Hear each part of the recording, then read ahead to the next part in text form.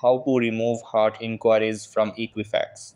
Hey guys, in this video, I am going to show you how to remove hard inquiries from Equifax.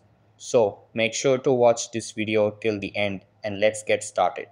So in order to get rid of hard inquiries from Equifax, you need to follow these steps. First, verify the inquiry, which ensures that the hard inquiry is legitimate or not. If it's authorized, it generally cannot be removed until it naturally falls off your credit report, which typically happens after two years. Second, dispute unauthorized inquiries. If you find an unauthorized or incorrect hard inquiry, you can dispute it with Equifax. Third, monitor your credit report. After filing a dispute, monitor your credit report to ensure the inquiry is removed. Equifax typically investigates disputes within 30 days and notifies you of the results.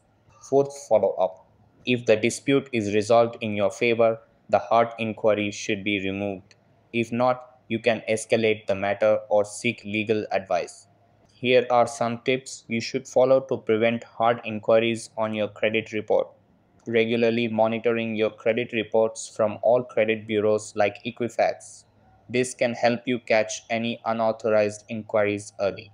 Consider placing a credit freeze or fraud alert on your credit report if you suspect identity theft. So that's how you can remove hard inquiries from Equifax. That's all for this video.